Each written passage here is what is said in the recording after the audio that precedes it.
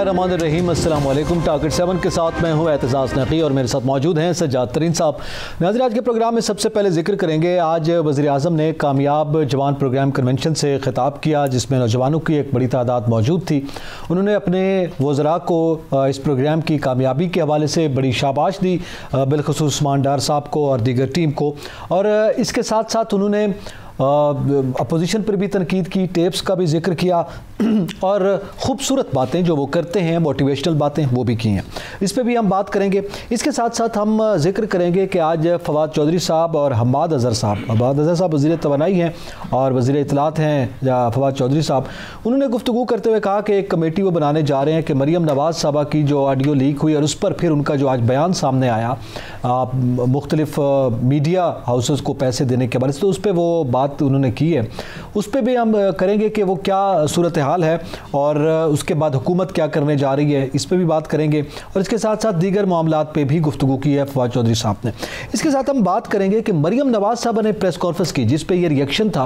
उन्होंने press conference में क्या कहा, जब उनसे सवाल किया गया, उनकी ऑडियो टेप के मुतालिक और फिर जो के साकिब निसार जैसे साकिब निसार के हवाले से एक क्लिप चल रहा है जिसकी फॉरेंसिक के हवाले से भी वो गया हुआ है, उस पर उन्हें क्या तबसरा किया। और इसके साथ साथ हम बात करेंगे पॉली क्लिनिक का वो मामला, जिस पर हम अपने मुख्तलिफ़ एपिसोड्स में उसकी मुख्तलिफ़ करप्शन स्टोरीज़ जो है वो आपके सामने लाते रहे इस प्रोग्राम में। और उस पर कुछ इकदाम हुए हैं और कुछ आगे जो लाए अमल है वो भी तय हो गया है कि क्या किस अंदाज में इसको कंट्रोल किया जाएगा, बाकायदा एक अथॉरिटी बनाने के हवाले से सोचा जा रहा है तो उस पर भी हम बात करेंगे। पहले तो सजाद तरीन साहब वज़ी अजम ने आज गुफ्तु की है। अच्छा इससे पहले उन्होंने क्या कहा, वो हम सुनाएँगे भी उस पर बात भी करेंगे। लेकिन आज वज़ी अजम की गुफ्तु यकीन आपने भी सुनी, हमने भी सुनी। वो नौजवानों से ख़िताब कर रहे थे। उन्होंने बड़े खूबसूरत अंदाज में ये बताया कि जनाब उस्मान डार साहब ने बहुत बड़ा इनकलाब बर्पा कर दिया है। नौजवान जो हैं, वो जो बेरोज़गार थे, उनके मसाइल हल हो गए हैं और बड़ी मोटिवेशनल बातें की हैं। तो बड़ी इंस्परेशन मिलती है उनकी गुफ्तु सुनकर। चलें, आप यकीन इकदाम पर जाएँगे, लेकिन गुफ्तु अच्छी करते हैं, खान साहब। देखिए नौजवान तबका जो है, उसको इमरान खान साहब ने अपना गर्विदा बनाया। और जब उन्होंने 126 दिन का धरना दिया और उन्होंने जो बातें की उन्होंने बहुत अच्छी अच्छी बातें की। बहुत सारे लोग जो हैं, वो उस वक्त उनके साथ हुए। मेरे बहुत जाने वाले नौजवान दोस्त जो थे, वो सारे इमरान खान साहब के हमायती थे और वो उन्होंने वोट दिया। लेकिन खान साहब ने उस पर खड़े होकर स्टेज पे खड़े होकर जो बातें की, आज तीन साल हो गए हैं। कहीं आपको लगता है कि उस पर कहीं को अमल दरामद हुआ हो? या जो उन्होंने बातें की थी उनका कहीं एक परसेंट भी आपको नज़र आता है कि आप कहीं यार फलां डिपार्टमेंट तो ठीक हो गया है। उन्होंने कहा था पलिस रिफार्म नासर दुरानी के साथ पंजाब में जो उन्होंने किया वो से रिकॉर्ड पर है। उन्होंने कहा, जी, हम अदलिया के निज़ाम में रिफॉर्म करेंगे, वो आपके सामने हैं। बल्दियाती निज़ाम की सूरत आपके सामने है। और टैक्स रिफॉर्म की उन्होंने बहुत बड़ी बड़ी बातें की थी। शब्बर जैदी साहब का कल भी मैंने ज़िक्र किया था, उनको ले आए, जिनकी अपनी कंपनियाँ थीं और लोगों को बताते थे कि टैक्स चोरी कैसे करना है। चालीस साल वो ये बताते नहीं अब वो आ गए थे कि जी इस एफ़ बी आर को बेहतर कैसे बनाना है? तो कौन सी ऐसी चीज़ हुई जो प्राइम मिनिस्टर ने उस वक्त कहा और प्राइम मिनिस्टर ने आज जो कहा कि जी मैंने उस वक्त ये कहा था और आज देखें ये कर आज उन्होंने किसी आज, एक डिपार्टमेंट का आज आज आज सजातरीन साहब उन्होंने कहा कि बहुत जल्द ये कौम एक अजीम कौम बनने जा रही है। और रियासत मदीना का जो तस्वुर था उस बुनियाद पर हम आगे बढ़ रहे हैं। आ, उन्होंने आगे का बताया कि हम आइंदा आने वाले दिनों में आपको अभी अंदाज़ा ही नहीं है कि हम कितनी बड़ी अजीम कौम बन जाएँगे। और इसके साथ साथ उन्होंने बताया कि जनाब उन्होंने हेल्थ कार्ड दिया लोगों के हेल्थ के मसाइल फ्री हेल्थ का कोई नहीं सोचता था। उन्होंने ये बताया कि मुझे लोग ताने देते थे कि आप अच्छे क्रिकेटर नहीं बन सकते तो मैं क्रिकेटर बन गया। मुझे लोग कहते थे कि जनाब आप सियासत का जब मैं आया तो उसमें चौदह साल मेरा मज़ाक उड़ाया गया और लेकिन मैंने कामयाब सियासत की। आ, मुझे लोग कहते थे आप इस मुल्क के सरबराह नहीं बन सकते कामयाब नहीं कर सकते अपनी जमात को। वो मैंने करके दिखाया। तो उन्होंने मोटिवेट किया आवाम को कि अगर आप भी ये चाहें तो सोच लें तो आ, कर सकते हैं। उन्होंने ये कहा कि जनाब इस मुल्क में तीसरी पार्टी की गुंजाइश मौजूद नहीं है वो नहीं आ सकती वो मैं ले आया। तो ये उनकी सर अचीवमेंट्स है जिनका आज ज़िक्र किया उन्होंने। देखिए उन्होंने ये सारी अचीवमेंट्स का ज़िक्र किया लेकिन उन्होंने अपने इस कराम का ज़िक्र नहीं किया जो उनको पॉलिटिक्स में लाए। जिन्होंने जिन्होंने उनकी रहनुमाई की, जिसमें जनरल हमीद गुल साहब भी शामिल हैं, और उनका उन्होंने ज़िक्र नहीं किया। फिर जनरल पाशा साहब डी जी आई सही थे, वो उनके मतलब जो हैं, एक रहनुमा में से शामिल थे, जो उनकी रहनुमाई करते रहे। वो उन्होंने नहीं बताया। फिर उन्होंने जो बातें कहीं कि मैं आईएमएफ के पास नहीं जाऊँगा मैं वो, ये तो उन्होंने कहा कि चौदह साल स्ट्रगल करके मैं वज़ी अजम बन गया, मेरा मज़ाक उड़ाते रहे मैंने हासिल की। लेकिन जो अवाम के लिए वादे किए, अवाम के लिए उन्होंने कहा, वो उन्होंने किया, उन्होंने कहा आई एम एफ़ के पास नहीं जाऊँगा, खुदकशी कर लूँगा। उन्होंने कहा जी कि जी, हम मुल्क को ये तमाम चोरों और डाकों से पैसे वापस करेंगे, एहतसाब का निज़ाम होगा सब के लिए होगा। आमिर कैनी साहब अदवायात स्कैंडल जहांगीर तरीन साहब जो हैं वो उसमें चीनी शुगर स्कैंडल अपना जफ़र मिर्ज़ा साहब वो मेडिसन और मार्क्स के स्कैंडल में। अच्छा जी उसके बाद वो दानिश साहब थे गौर साहब थे जो वो जो पेट्रोलियम वाले थे। वो वो उनका क्या हुआ? किसी का कुछ हुआ? आप मुझे बताएँ। ये फिर जो पंजाब पुलिस में सलाहत करनी थी और थाना और पटवारी कल्चर ख़त्म करना था उसके लिए क्या हुआ? अच्छा ये ये पूछ लेते हैं। जी वज़ी अजम साहब ने क्या कहा? जी आज क्या अचीवमेंट्स का और फिर टेप्स का भी आज ज़िक्र करते रहे। ज़रा सुनाइएगा क्या कह रहे हैं वो? बजाय ये कि आप सिर्फ़ ये बता दें अदालतों को या पाकिस्तानियों को कि पैसा आया किधर से ये लंदन चार बड़े बड़े फ्लैट लेने के? बजाय ये बताएँ पहले क्यों निकाला? अदलिया को बुरा भला। फिर उसके बाद पाकिस्तानी फौज को बुरा भला। मैं तो खैर बुरा भला हुई मुझे तो वो कहते हैं, बहुत जालिम हूँ मैं। तो सबको बुरा भला। भाई, आप जवाब दें कि आपने ये चार फ्लैट लिए किधर से? सारी चीज़ें कर रही हैं, लेकिन जवाब नहीं दे रहे हैं। जी सजातरी साहब आपने गुफ्तु सुनी है खान साहब की? वो तो खुद सवाल कर रहे हैं ना। वो गुज्त वज़ीर अजम से सबक वज़ीर अजम से सवाल कर रहे हैं कि आप इन चीज़ों का जवाब दें। वो इतने से जवाब नहीं दे रहे। आप आज के वजी अजम से कहते हैं कि वो जवाब दें।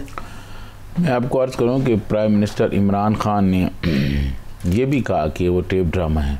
जी। मैं आपको अर्ज़ करूँ कि ये जो बातें प्राइम मिनिस्टर ने कही हैं हुकूमत उनके पास है। नैप उनके पास है, एहतसाब उनके पास है। जो जिस आदमी पर चोरी के इल्ज़ाम होते हैं, वो तो नहीं बताता ना पैसे मैंने कहाँ से लिए।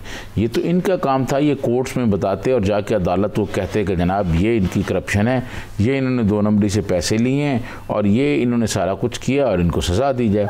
मियाँ नवाज़ शरीफ को आपको पता है ना, जिस केस में सज़ा हुई, वो अकामे पर हुई है। मियाँ नवाज़ शरीफ को सज़ा करप्शन पर नहीं हुई। मियाँ नवाज़ शरीफ को लूट मार पर नहीं हुई। ठीक है, उन्होंने की होगी, मुझे नहीं पता इसका। कोई सबूत अगर हैं आप कोर्ट में पेश करें आप तीन साल से प्राइम मिनिस्टर हैं नैप आपके पास है बाकी सारे इदारे आपके पास हैं एफ़ आई ए आपके पास है सारे हुकूमती रिसोर्स रियासी रिसोर्स आपके पास हैं उसके बावजूद आप अगर कुछ नहीं कर पा रहे और आप उनसे पूछ रहे हैं कि रसीदें दें ये क्या बात है? वो कहाँ से रसीदें देंगे? वो तो कोई रसीदें नहीं देंगे। वो तो उल्टा मतलब ये कहेंगे कि आप जो हैं वो करप्शन और दो नंबरी और इस तरह के इल्ज़ाम जो प्राइम मिनिस्टर ने कहा वो तो सियासी अंदाज में ले लेते हैं देखें बेचारा एहतसाब करता है वो कहते हैं नैब न्याजी का जोड़ है। देखें नैब कार्रवाई हुकूमत करती है कहते हैं सियासी करे नैब करे नैब अदालतों से उनको सजा दिलवाए ना। नैब करप्शन में सजा तो नहीं दिलवा सका। ठीक है। मेरा सवाल ये है कि तमाम वसाइल उनके पास हैं और प्राइम मिनिस्टर एक ही बात कर रहे हैं कि जी वो जो ड्रामा हो रहा है वसाइल हो रहे हैं फलानी हो रहे हैं वो कहाँ से लिए हैं वो बताएँ जी वो कहाँ से बताएँगे? भाई आप साबित करें कि तो जनाब ये, ये, ये इनका ये इनका टैक्स रिकॉर्ड है हम्म। ये इनकी आमदनी का रिकॉर्ड है, सारे रिकॉर्ड तो मौजूद हैं। और ये इन्होंने दो नंबरी से पैसा कमाया हुआ है और ये फ्लैट लिए हुए ये कोर्ट को आपने बताना है, जो आप नहीं बता सके। इल्ज़ाम आपने लगाया, आप साबित आप करें ना। आप उन पर इल्ज़ाम लगा रहे हैं और उन्हें कह रहे हैं, जी, आप बताएँ भी, कौन बताएगा? एक बात। दूसरी बात, ये मुझे एक बात की बिल्कुल समझ नहीं आई। मैं अपने कई प्रोग्रामों में ये बात कर चुका हूँ कि प्राइम मिनिस्टर इमरान खान समेत जितने वज्रा हैं आखिर ये क्यों इस बात पर लगे हुए हैं कि वो टेप ठीक है नहीं ठीक? आज प्राइम मिनिस्टर ने भी कहा कि ड्रामा है। क्या वो कहीं से उन्होंने फ्रांसिक उसका कराया है? मतलब आप कोई अपनी लेबॉर्ट्री से फ्रांसिक करा लें और कहें जी हमारी फलानी लेबॉर्ट्री ने कहा है कि ये दो नंबर टेप है। कोई हवाला तो आपके पास होना, बात देखें दलील से होती है। कोर्ट ऑफ़ लॉ में ना आप जाके लॉ पॉइंट्स पे अपना मुकदमा लड़ते हैं। ऐसे नहीं होता कि जी मैं कह दूँ कि फलाना आदमी चोर है, फलाना आदमी चोर है, फलाना आदमी चोर है, इसने दौलत कैसे बनाई इसने? तो कोर्ट उनको पकड़ लेगी।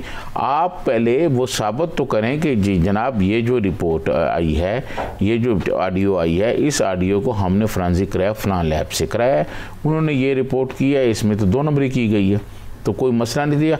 एक बार दूसरी, पूरी की पूरी हुकूमत पता नहीं क्यों साकब निसार के पीछे खड़ी हो गई है और साकब निसार की हमायत में आ गई हुकूमत को ऐसा नहीं करना चाहिए। हुकूमत को इससे लातल्लक होना चाहिए।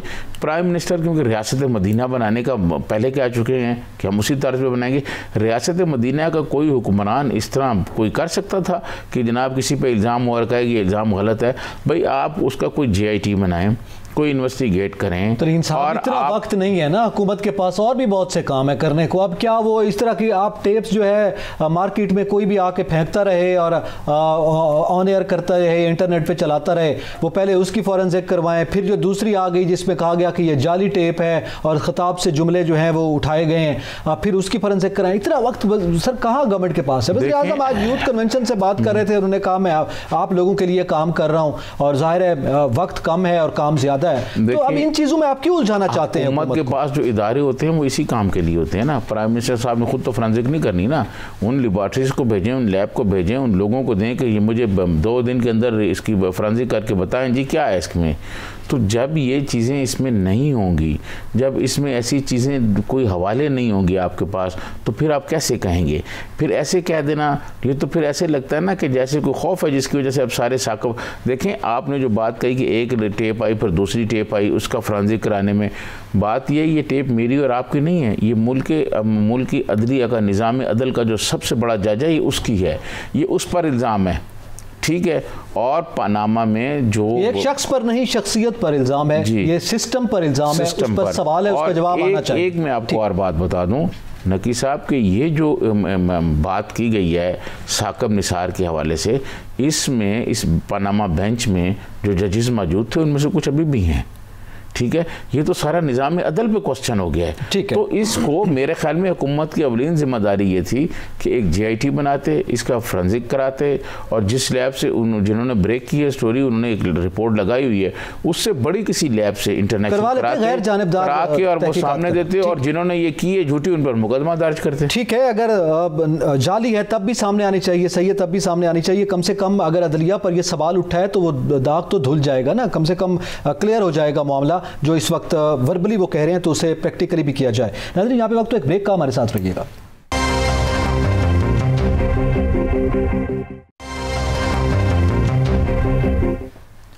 वेलकम बैक नाजरीन, बात करेंगे आज वज़ीर इतलात फवाद चौधरी और वज़ीर तोानाई हमाद अजहर जो है, उन्होंने मुश्तर तौर पर गुफ्तु की। और उन्होंने कहा कि वो एक कमेटी बना रहे हैं जिसमें मरीम नवाज़ साहबा ने जो गुफ्तु की आज प्रेस कॉन्फ्रेंस की है उस पर हम बात करेंगे कुछ देर बाद। उसमें उन्होंने ये एतराफ़ किया है कि जो ऑडियो क्लिप उनका है मरीम नवाज़ साहबा का आ, वो बुनियादी तौर पर बजात ख़ुद उस पर एतराफ़ किया गया कि वो वाकई उनका है। तो इसके बाद फिर वो कुछ रिपोर्ट्स भी लेके आए उन्होंने कहा कि जनाब हम ये बताएँगे कि क्या क्या तकसीम किया गया उस मीडिया सेल के ज़रिए जो मरीम नवाज़ साहबा चला रही थी। जहाँ तरीन साहब मेरा एक सवाल है मरीम नवाज़ साहब ने प्रेस कॉन्फ्रेंस की और यूँ करके, यानी थोड़ा ही टाइम गुजरा ये दो मोज़ वज़रा जो हैं वो तशरीफ़ लाए और उन्होंने कहा, जी, हमने कमेटी भी बनाने जा रहे हैं, तहकीकात भी होंगी और ये भी होगा। मेरा सवाल ये है, क्या वजह है कि इतना प्रॉप्ट एक्शन जो है वो मरीम नवाज़ सभा की प्रेस कॉन्फ्रेंस पे तो हो गया, उनकी भी ऑडियो टेप पर है। वो जो पहले ऑडियो टेप पिट रही है और उस पर बात हो रही है, उस पर इतनी जल्दी कमेटी क्यों नहीं बन पाई? एतजाज साहब, आप बहुत ज़बरदस्त आदमी हैं और जेर आप मुस्करा के बात करते हैं। यही मैं आपको अर्ज़ कर रहा था, आपने कहा, टाइम नहीं है, प्राइम मिनिस्टर के पास ये बात, ये कौन कराए?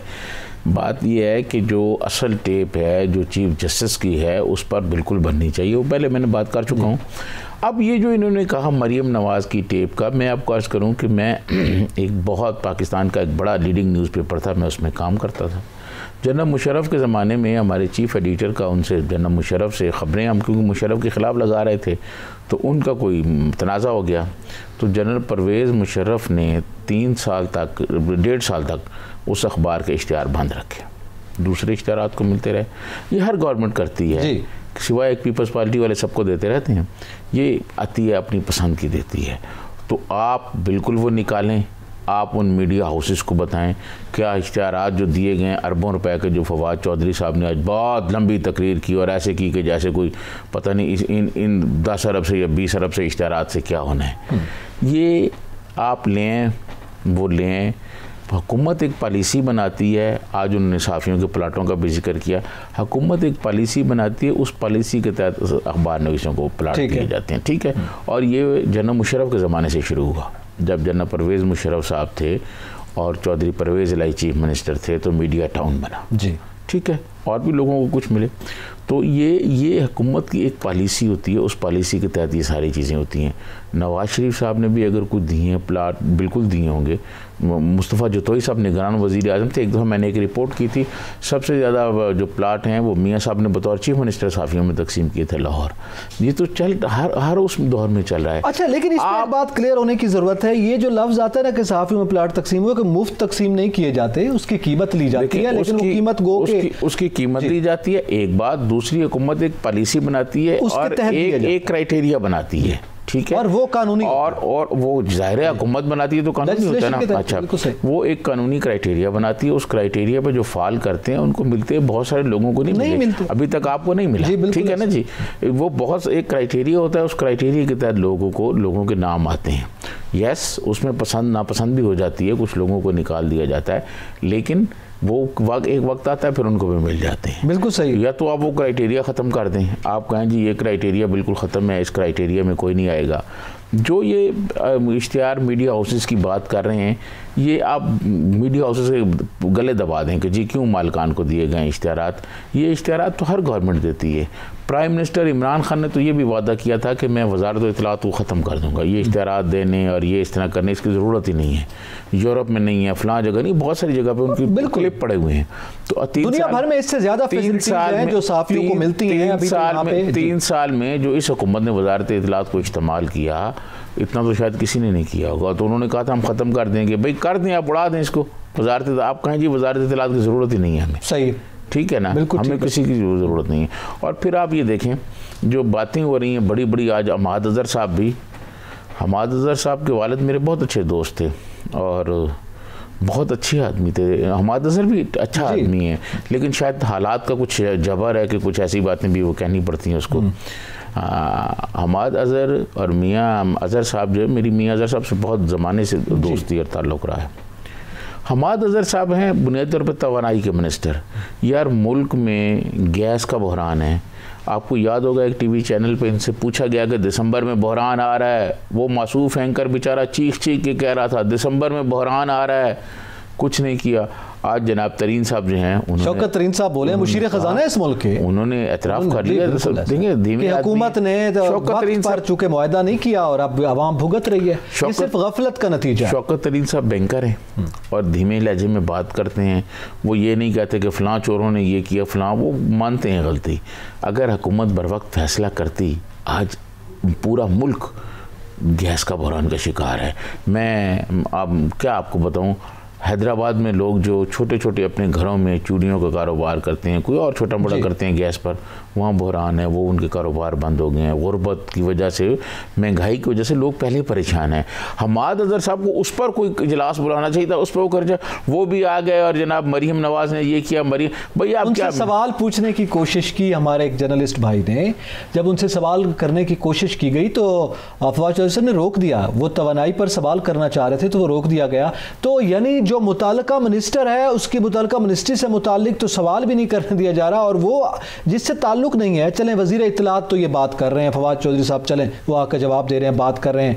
ये इश्तहार का मामला था मीडिया हाउसेज का मामला था। ये हमाद अजहर साहब को किस चक्कर में ले आए? मैं ये अर्ज़ कर रहा हूँ ना कि वो उनको तो वहाँ जवाब देना चाहिए बिल्कुल दुरुस्त बात है आप। कोई कोई कोई भी आदमी जो है वो अपनी वजारत में काम नहीं कर रहा। वो दूसरी जगह पे नवाज़ शरीफ के ख़िलाफ़ हो जरदारी साहब के ख़िलाफ़ हो किसी और के ख़िलाफ़ हो उनको मौका आप दे दें वो आ जाते हैं और जनाब शुरू हो जाते हैं कि जी ये हो गया है जी ये हो गया है जी।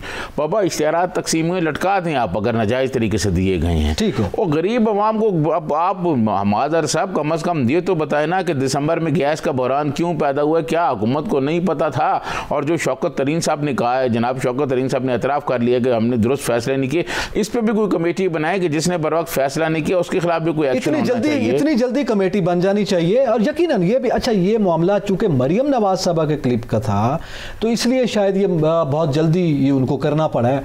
अवाम का मामला होता तो फिर ज़ाहिर है आप और मैं रोज़ाना यहाँ रोते रहेंगे। गैस बहरान के हवाले से आपने बिल्कुल दुरुस्त कहा जो एतराफ़ किया गया मुशीर ख़जाना की जानब से मेरे ख्याल में उसके बाद आज बयान दिया है सिंध के वज़ीर तोानाई ने इम्तियाज़ शेख साहब ने उन्होंने कहा रिज़ाइन कर देना चाहिए वज़ीर तोानाई को ये मुशीर ख़जाना के इस एतराफ़ के बाद कि जनाब आप नाहली के और गफलत के मरतकब हुए हैं। इम्तियाज़ शेख साहब को पिछली दफ़ा हमने भी लिया हुआ था। पिछले हफ़्ते में भी वो उस वक्त ये कह रहे थे कि बुरहान आने वाला है बुरहान आने वाला है ये फैसले नहीं कर पा रहा है। देखें बात ये इनका जो करने का काम है वो ये नहीं करते। और जो काम इन्होंने क्योंकि यहाँ सिर्फ़ इनकी हुकूमत की इंफॉर्मेशन मिनिस्ट्री की काबीना के जो मेम्बरान हैं उनकी एक ही कोशिश है कि वो किसी न किसी तरह जाने ना पाए मरियम नवाज़। देखिए मरियम नवाज़ साहबा ने एक बात की उन्होंने कहा हाँ उन्होंने कोई तरदीद नहीं की कि ये मेरी आवाज़ जी बिल्कुल। उन्होंने कहा इस तरह की बात होती रहती हैं चलती रहती हैं ठीक है। भाई नहीं दिया उन्होंने एक मीडिया हाउसेस को दो दो पे बिल्कुल बल्कि उस पर बात करते हैं डिटेल करते हैं कि उन्होंने तो बाकायदा कह दिया कि ठीक है। उन्होंने कहा साकिब निसार साहब भी बताएँ। लेकिन ये साकिब आज एक जानब तो आप ये बात कर रहे हैं कि इस पर तो हम तहकीकात कर रहे हैं। आप करें। इस बात का हरगिज़ कोई नहीं है कि कहीं पे भी कोई काली भेड़े हैं, उनसे आप पैसे निकलवाएँ। आवाम का पैसा नाजायज़ तौर पर अगर किसी ने भी हड़प किया है, वो एक्स वाई जेड कोई भी है, वो हुकूमत निकलवाए। ये ना हो कि फिर पैसा तो खर्च हो इन केसेस पर और उल्टा लेने के देने पड़ जाएँ। जिस तरह इकामा केसेस की हम बात कर रहे हैं, जिसको पनामा का नाम दिया जा रहा है, या दीगर केसेस पे, या नैब के केसेस पे, जितना पैसा खर्च हुआ है गैर मुल्की दौरों पर, एक पाई वसूल नहीं हुई उसके बदले में। तो यहाँ पर यह भी ना हो। और दूसरा ये फवाद जो साहब ये कह रहे हैं कि जनाब वो साकिब निसाब वाली ऑडियो जो है, वो भी इसी मीडिया सेल का, जो मरियम नवाज़ का मीडिया सेल है, उसी की कारकर्दगी लगती है। ये लगती है क्या होता है? आप वज़ीर हैं और आप हुकूमत का हिस्सा हैं, आप तहकीकत करें, उसकी भी साथ अनाउंस कर दें। ये जो कहते हैं ना, साफ़ियों को फलां दौर में उन्होंने इतने पैसे दिए, इतने पैसे दिए, एक Ahmed Mir commission Supreme Court में एक रिपोर्ट पेश की गई थी और सुप्रीम कोर्ट ने कहा था बताएँ वजारत इतलात ने किस किस साफ़ियों को पैसे दिए और कहाँ कहाँ से दिए आप यकीन करें, वो चंद बेवाओं के उसमें नाम थे। जो हमारे जर्नलिस्ट जिन्होंने बेचारी से सारी ज़िंदगी कलम की मजदूरी की है, उनकी चंद बेवाएँ जो थीं, उनके नाम लिखे हुए थे। या किसी का कोई शदीद बीमार हो गया है, किसी का कोई टांग टूट गई है, किसी का कोई और हो गया, उसकी छोटी छोटी वो रकमें दी गई थी। आप बाबा वो लिस्ट ले। आए जारी कर साबित करें आप। जारी कर बिल्कुल सही है। वो सहाफ़ियों पे और मीडिया हाउसेस पे आप इतनी बात कर रहे हैं। वो जो अरबों रुपए की आप कहते थे करप्शन इन्होंने की है इन चोरों और डाकुओं को नहीं छोड़ेंगे और फलाने फ्लैट और फलाने फ्लैट उनको तो आप साबित नहीं कर सके। तो मैं ये समझता हूँ ये सिर्फ़ एक मीडिया वार है। हुकूमत मीडिया में सिर्फ़ सब अच्छा कर रही है कोशिश कर रही है कि अपोजिशन को ख़ास तौर पर मुस्लिम लीग नून कोई भी बात करे तो उसका फ़ौर जवाब दिया जाए उस पर रिएक्शन किया जाए कमेटियाँ बनाई जाएँ और इनकलाबी इकदाम कर दिए जाएँ लेकिन जो इनके करने वाले काम है वो नहीं नहीं किए जा रहे। महँगाई के लिए गुर्बत के लिए बेरोज़गारी के लिए अवामी मसाइल और मुश्किल के लिए जहांगीर शौकत तरीन साहब ने यह कहा नहीं कि पेट्रोल हम बढ़ाएँगे। जी बिल्कुल उन्होंने ये कहा नहीं कि बिजली की कीमतें भी बढ़ाएँगे। तो उसको रोकने के लिए ये क्या कर रहे हैं? उसको रोकने के लिए कोई इकदाम नहीं है। जो गैस बहरान अब आया हुआ है, इसका, जिससे हम गुजर रहे हैं, इसका कोई इकदाम नहीं किया गया। यानी इस पर तो बात ही नहीं की जा रही ना। इनको तो साइड पे रख के सिर्फ़ जो सियासी बयानबाजी है, आपके करीबी दोस्त, आपके जिगरी दोस्त जो आपको बहुत अज़ीज़ हैं, शेख रशीद साहब भी इस पर बोले हैं। उस पर हम बात करेंगे थोड़ा, इसके बाद मरीम नवाज़ सभा का भी ज़िक्र करते हैं। नज़र यहाँ पे वक्त हुआ एक ब्रेक का, हमारे साथ रहिएगा।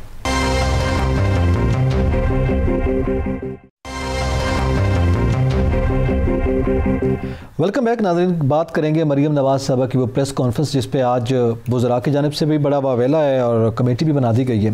लेकिन उससे पहले कि हम मरीम नवाज़ साहबा की वो बात करें, मैं ब्रेक से पहले ज़िक्र कर रहा था। आप जैसे कह रहे थे ना कि वज़ी तोानाई हमाद अजहर साहब वो सियासी तौर पर गुफ्तु करने आ गए और वजारत इतलात के मामला के लिए वो साथ आकर बैठ गए।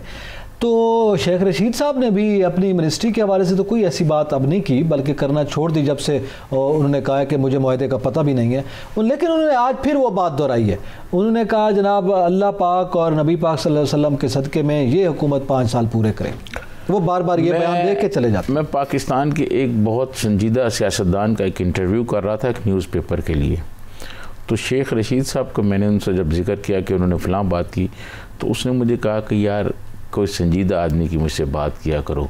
मैं संजीदा लोगों की बात का जवाब दे सकता हूँ। इस तरह की मैं क्या बात हूँ? तो शेख रशीद साहब की आप प्रेस कॉन्फ्रेंस इसी पे से मंजर में देखा करें। उनको तो उस दिन ही वजारत दाखिला से अलहदा हो जाना ही थे।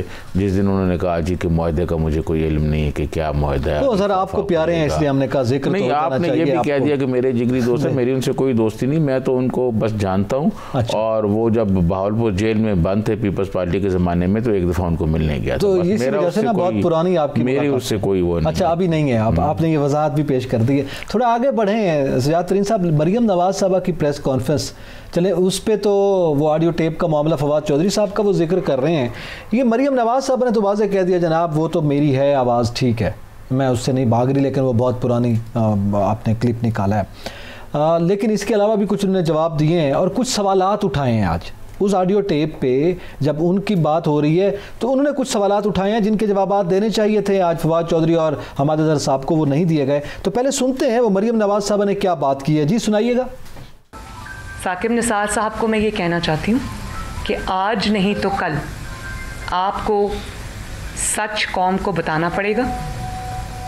अभी भी वक्त है, कौम को बताएँ, सामने आए, जुरत करें, कौम को बताएँ कि किसने आपको मजबूर किया नवाज़ शरीफ की सज़ा अगर नहीं बनती थी तो किसने आपको मजबूर किया कि नवाज़ शरीफ को सज़ा दें? मरियम नवाज़ शरीफ की अगर सज़ा नहीं बनती थी, बेटी की नहीं बनती थी, बेटी का लफ्ज़ उन्होंने इस्तेमाल किया। अगर बेटी की सज़ा नहीं बनती थी तो किसने आपको मजबूर किया कि मरियम नवाज़ को सज़ा दें? और किसने आपको ये कहा कि इमरान खान को आपने लाना है? किसने आपको ये कहा? अब मरियम साहबा ये सवाल उठा रही हैं। मामला एक बड़ा अजीब व गरीब है वैसे। तरीन साहब, दोनों तरफ़ से। वो कहते हैं ना, दोनों तरफ़ है, आग बराबर लगी हुई। ना तो फवाद चौधरी साहब, हमाद अजहर साहब या कोई हुकूमती वजरा शहबाज गिल हों फ़रोख हबीब हों, वो आके जवाब देते हैं। ना तो वो इन सवालों के जवाब दे रहे हैं। सिर्फ़ वो ये कह रहे हैं कि टेप ख़राब है या गलत है या जाली है। और ना मरियम नवाज़ साहबा ये इस सवाल का जवाब दे रही हैं कि, जनाब, आपने जो ये किया है, आपने क्यों किया ऐसा मीडिया सेल आप चला रही थी और आप इस, आप कह रही हैं कि इन मीडिया हाउसेज़ के इश्तहार बंद कर दिए जाए। देखिए, मैं आपको अर्ज़ करूँ कि बात यह है कि मरीम नवाज़ साहबा जो बात कर रही हैं, जो क्वेश्चन वो उठा रही हैं उन क्वेश्चन का जवाब तो आना चाहिए ना हुकूमत की जानब से। बिल्कुल देखें अगर तो हुक्मरान होते कोई पीपल्स पार्टी वाले या दूसरे तो फिर तो आप कहते ना प्राइम मिनिस्टर कहते हैं मिले हुए हैं दोनों जी आपस में उनका कट जोड़ा है और बारियाँ लगाई हुई ये कहते रहे हैं। जी जी बिल्कुल। अब तो रियासत मदीना के तर्ज तर्ज पर बनाने हुक्मरान आए हैं ना कि जो पाकिस्तान को रियासत मदीना के तर्ज पर बनाना चाहते हैं तो मुल्क का जो निज़ाम अदल का सबसे बड़ा चीफ है उस पर यह इल्ज़ाम लगा है। और वो उसकी एक ऑडियो आई है। इस पर तो अभी तक मैं समझता हूँ प्राइम मिनिस्टर जिस तरह अभी आपने कहा कि मरीम नवाज़ की प्रेस कॉन्फ्रेंस हुई और फ़ौर जवाब भी आ गया क्लिप भी तैयार हो गया बातें भी हो गई इंक्वायरियाँ कमेटियाँ। आप मुझे ये बताएँ कि क्या ये जिस दिन से आई है टेप उस दिन prime minister Imran Khan FIA को कहते कि इसका फ्रांसिक कराया जाए? ठीक है जी, इसका फ्रांसिक होता रिपोर्ट आ जाती, कौम को बता दी जाती रिपोर्ट जारी कर देती कि जैली रिपोर्ट है जी, जैली बातें की बात ख़त्म हो जाती। फिर अगर कोई जिन्होंने जारी की हैं, उनके खिलाफ एक्शन करते। फिर अगर कोई क्वेश्चन करता तो उनके खिलाफ मुकदमा दर्ज करते। आप इस रिपोर्ट का फ्रेंसिक करा नहीं रहे। आपके पास कोई दलील नहीं है। जिन्होंने ये जारी की है, उन्होंने फ्रेंसिक रिपोर्ट साथ जारी की हुई है। तो आप किस हवाले से ये बात कर रहे हैं? बात यह है कि ताकत का जो इस्तेमाल होता है ना, और ताकत जब आपके पास होती है, आप भूल जाते हैं। और आप यकीन माने, मैं पाकिस्तान की सियासी तारीख का तालब इल्म हूँ, इसमें बहुत ताकतवर लोगों को मैंने देखा है। मैंने इस मुल्क में जयाउल को भी देखा है। और बहुत सारे ताकतवर लोगों को देखा है लेकिन फिर जब कुदरत की पकड़ आती है तो उसमें फिर कुछ नहीं बचता। तो फिर ये कुदरत की पकड़ ताकत में आप ना ये करें कि ताक आप हकाइक लाएँ कौम के सामने। भाई पूरी कौम पूरी हुकूमत क्यों जमा हो गई है उसकी वजाहत हाँ, नून लीग का ये मीडिया सेल अपनी तमाम मुखालिफ जमातें पी टी आई हो पीपल्स पार्टी हो उस पर का काम करता रहे। ये आप भी जानते हैं हम भी जानते हैं ये डिस्कस भी होता रहा उस ज़माने में भी डिस्कस होता रहा। और ये मीडिया सेल अपनी कारकर्दगी दिखाता रहा। ज़ाहिर है, वो पीपल्स पार्टी एक बेचारी है जिसका मेरे ख्याल में वो कमज़ोर सा मीडिया सेल था, वो था भी कि नहीं था। लेकिन दूसरी जानब फिर उनको भी तो वही टकरे हैं ना, पीटीआई। वो भी तो सोशल मीडिया के माशाल्लाह माहिर हैं, उनकी भी टीम्स मौजूद हैं। तो वो फिर दोनों अब आपस में गुत्थम गुत्था हैं, वो सोशल मीडिया पे वो भी जवाब दे रहे हैं, उधर से भी आ रहे हैं। आपने पीपल्स पार्टी के मीडिया सेल की बात की, पीपल्स पार्टी के मीडिया ऑफ़िस में तीन लोग हैं जी, आज भी हैं, पहले भी थे। जब सैफुर रहमान साहब कर रहे थे, उस वक्त भी थे। एक सेनेटर फ़रतुल्ला बाबर साहब हैं दो फ़रतुल्ला बाबर साहब के साथ दो नज़ीर ढोकी साहब हैं और कैप्टन वासफ साहब हैं। और जो हुकूमती मशीनरी का और सब का मुकाबला करते हैं और उनका मीडिया सेंटर आज भी है वहाँ मसावत बिल्डिंग में ज़ीरो पॉइंट ज़ीरो पॉइंट पर। तो वो है ये बात ठीक है। ये जो मीडिया सेल आज पर अगर पीपल्स पार्टी की हुकूमत होती तो ये जो दूसरा क्लिप आया है ना जिस तरह से कि जनाब ये जाली है जिसमें साबित किया गया है शायद वो हुकूमत इस तरह से ना कर देखें मैं आपको बताऊँ ये जो इन्होंने बातें की कि जी मीडिया सेल बनाया ये आज इनको पता चला है अपना क्या नाम है फवाद चौधरी साहब को ती, तीन साल से ये इनके मिनिस्टर ये पहले भी इंफॉर्मेशन मिनिस्टर हैं पहले ये क्या करते रहे सही पहले क्यों नहीं एक्शन किया?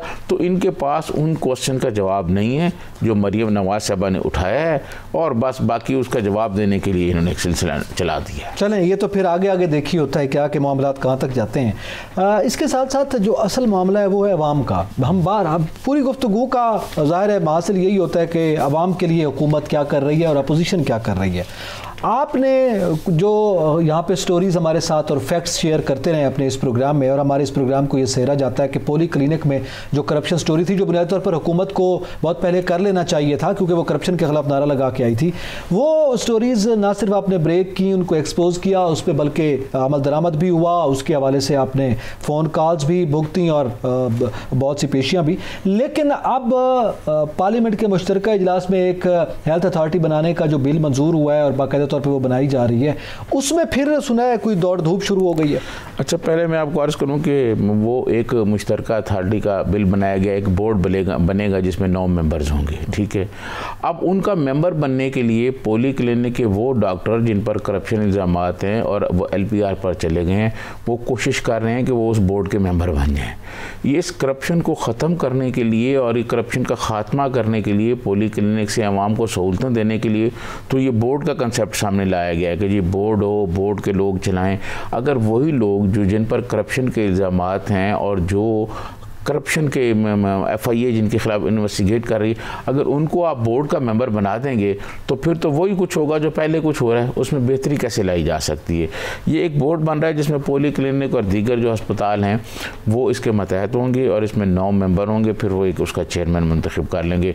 और वो साहब जो एल पी आर पर चले गए हैं वो ना सिर्फ़ उस बोर्ड का मेंबर बनना चाहते हैं बल्कि वो चेयरमैन भी बनना चाहते हैं। देखें मैंने एक दफ़ा नहीं मैंने कोई यहाँ अपने प्रोग्राम में दस दफ़ा एक बात की पोली क्लिनिक अस्पताल जो है ना उस पोली क्लिनिक अस्पताल को जिस तरह चलाया जा रहा है और चलाने का जो अंदाज़ है मैं डॉक्टर शाहिद अनीब साहब की बात कर रहा हूँ। डॉक्टर शाहिद अनीब साहब वहाँ के एग्जीक्यूटिव डायरेक्टर हैं और उनके आने के लिए लोगों ने बड़ी दुआएँ की कि वो आएँ और ताकि चीज़ें मामला बेहतर करें लेकिन उन्होंने कोई बेहतर नहीं की। उन्होंने अस्पताल को ऐसे लोगों के हवाले कर दिया जो अस्पताल वो कबाड़ियों के अंदाज में चला रहे हैं। मुझे ये बताया जाए कि अस्पताल कबाड़िए चला सकते हैं? कोई कबाड़ी कबाड़ खाना तो वो चला सकता बिल्कुल सही है। आप पीर पीर बधाई से दस कबाड़िए लें और उनको कहें कि जी आप ये अखबार निकालना शुरू कर दें कबाड़ी अखबार निकाल सकते हैं कबाड़ी अस्पताल चला सकते हैं। आप जिसका काम उसी आप, आप कबाड़ियों को ले आए हैं और उन कबाड़ियों को अपने हवाले किया हुआ है। उन कबाड़ियों को हटाने के लिए डॉक्टर शाहिद अनीफ साहब को लाया गया था लेकिन डॉक्टर शाहिद अनीफ साहब ने उनके एक्शन करने के बजाय उन कबाड़ियों की सरपरस्ती शुरू कर दी है। अब इनका क्या मफाद है? आप यकीन माने मैं एफ़ आई ए से टच हूँ। ये जो जो कुछ जाके एफ़ आई ए वालों को कहते हैं और इन्वेस्टिगेशन जो हो रही है जो कागजात इन्होंने दिए हैं वो सारे कागजात हम हम बताएँगे। और ये कोशिश कर रहे हैं कि इन्वेस्टिगेशन हो और उसमें जनाब एफ़ आई आर दर्ज ना हो। ये कोशिश कर अच्छा, रहे हैं। ये कोशिश ये कोशिश कर रहे हैं कि इन्वेस्टिगेशन हो और ये किसी तरह बच जाए इसमें एफ़ आई आर ना हो। लेकिन मैं ये बताना चाहता हूँ डॉक्टर शाहिद अनीफ साहब को भी और उनके जो बाकी कबाड़िए हैं जो अस्पताल को जिन्होंने कबाड़ खाना बना दिया है उनको भी ये बताना चाहता हूँ कि एफ़ आई आर भी होगी गिरफ्तारियाँ भी होंगी और हम पहले बता देंगे कि कौन कौन से लोग गिरफ़्तार हो रहे हैं उनके क्या क्या असासे निकल रहे हैं। आप ये बताएँ कि एक बंदा ऐसा है पोली क्लिनिक पर जिस पर अडट पहरे बने हुए हैं हम्म। और वो जनाब पोली क्लिनिक के सारे मामला चला रहा है। फिर डॉक्टर शाहिद हनीफ साहब कहते हैं जी सजाद तरीन मुझे ये कह रहे हैं पोली क्लिनिक के बारे में और ये कह रहे हैं बाबा आपने पोली क्लिनिक का कौन सा मामला ठीक किया है। नहीं, मुझे एक बात बताएँ, सजाद तरीन साहब, ये क्या मामला है कि एफ़ आई ए कुछ लोगों की इंक्वायरी कर रहा है, वो ख़त लिख चुका है नोटिस भेज चुका है और सूरत हाल ये है कि दूसरी जानब ये जो अथॉरिटी बनाई जा रही है उसमें हाथ पाँव मारे जा रहे हैं कि जनाब हम उसमें शामिल हो जाएँ। तो क्या ये ज़ाहिर जब अथॉरिटी बनाएगी उनका और इन सिक्योरिटी इदारों का या जो इंक्वायरी कर रहे हैं उन इदारों का आपस में कोई कोऑर्डिनेशन नहीं है? वो उनको नहीं देखते कि इनके खिलाफ मैं, कोई मैं आपको अर्ज़ करूँगा पाकिस्तान में जब से ये हुकूमत आई है यारी दोस्तियाँ तलकदारियाँ पोली क्लिनिक का पहले एक साहब को बनाया हुआ था इंचार्ज वो ये क्लेम करता था कि मैं डॉक्टर जफ़र मिर्ज़ा का क्लास फेलो हूँ। अच्छा। ठीक है? हम्म। अब वो क्लास फेलो साहब जो हैं। ये ये मेरिट है। अब वो जी। ठीक है। अब वो क्लास फेलो साहब इस बोर्ड में आने की कोशिश कर रहे हैं। तो मैं ये समझता हूँ कि सेक्रेटरी सेहत साहब जो है आजकल कुछ उनकी सेहत ठीक नहीं है। उनकी अपनी सेहत ठीक नहीं है वो घर पर हैं। वो बहुत कम्पिटेंट आदमी हैं बहुत कम्पिटेंट आदमी हैं। सही और वो चाहते हैं कि पोली क्लिनिक को करप्शन से पाक किया जाए उनकी पीएससी में भी बहुत तारीफ़ हुई। लेकिन मालूम नहीं क्यों कि अभी तक उन्होंने पोली क्लिनिक पर एक्शन नहीं किया। और जो लोग अदवायात चोरी करते हुए पकड़े गए हैं हम्म। उनको डॉक्टर शायद अनीफ साहब ने पोली क्लिनिक में लगाया हुआ है वो स्टोर में लगाया हुआ है। और कबाड़ी उनकी सरपरस्ती कर रहे हैं और मेडिकल स्टोर को भी कबाड़ खाने में तब्दील कर दिया। सिविल वर्क में हम्म। वो करप्शन वो सारे अभी ये एफआईआर से बचना चाह रहे हैं लेकिन ये नहीं बच सकेंगे। एफआईआर भी होगी और इंशाल्लाह आप देखिएगा इनकी गिरफ्तारी इनकी गिरफ्तारी भी होगी। इसी के साथ ही एतजाज़ नकी और सजातरीन को इजाज़त दीजिए। अल्लाह हाफिज़।